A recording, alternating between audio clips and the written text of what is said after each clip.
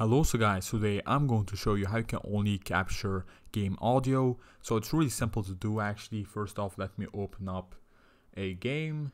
Let's open up Black Ops. So what I'm gonna do is I'm also gonna add on Mixer my desktop audio. So I'm filming with display capture.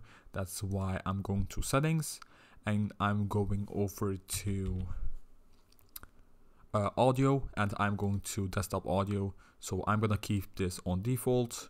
Let's do that. Click on done. And now let's just open our game.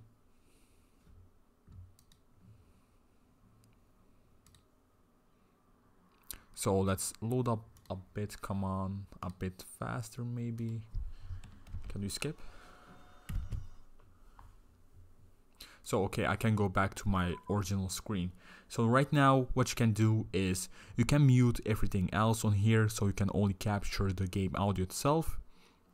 For example, we actually have our game audio over here. So if I click guys, it's gonna give you on desktop audio some things like it says, like you see guys.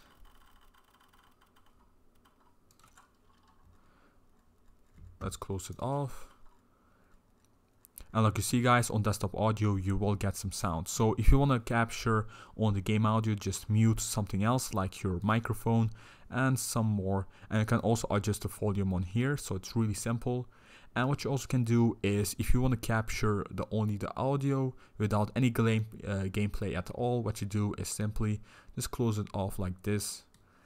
Or what you can do is just go ahead and make this screen really small and just get it out of the way so you can only capture the game audio and no one can see it.